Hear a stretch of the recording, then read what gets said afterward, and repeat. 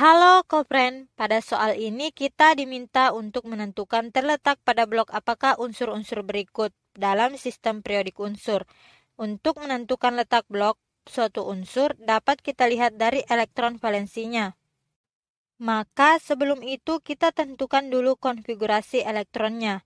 Dalam mengkonfigurasikan elektron, kita mengikuti prinsip Aufbau, yaitu pengisian elektron dimulai dari tingkat energi terendah ke tingkat energi yang lebih tinggi, yaitu pengisiannya dimulai dari subkulit 1s, 2s, 2p, 3s, dan seterusnya.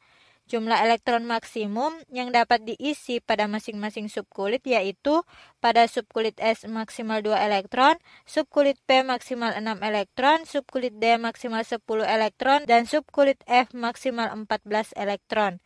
Nah, pada atom netral, jumlah nomor atom akan sama dengan jumlah elektron. Nah, untuk bagian A, unsur X, konfigurasi elektronnya sudah disediakan, yaitu X sama dengan 1S2, 2S2, 2P1.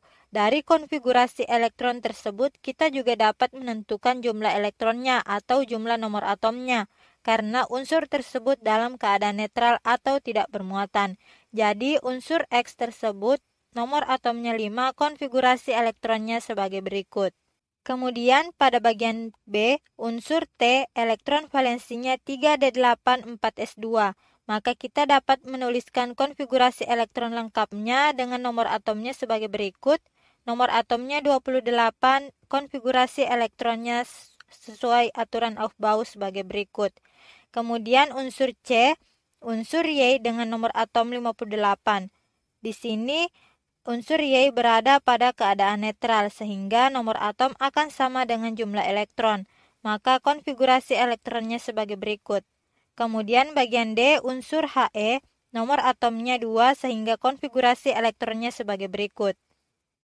Kemudian kita akan menentukan letak blok unsur berdasarkan elektron valensinya. Nah, jika berakhir pada subkulit S, maka termasuk blok S, kemudian berakhir pada subkulit S dan P merupakan blok P, kemudian berakhir pada subkulit S dan D terletak pada blok D, dan berakhir pada subkulit S dan F maka termasuk pada blok F. Nah, kita lihat di sini unsur X elektron valensinya berakhir pada subkulit SP, maka terletak pada blok P Kemudian unsur T, elektron valensinya berakhir pada subkulit SD, maka termasuk atau terletak pada blok D.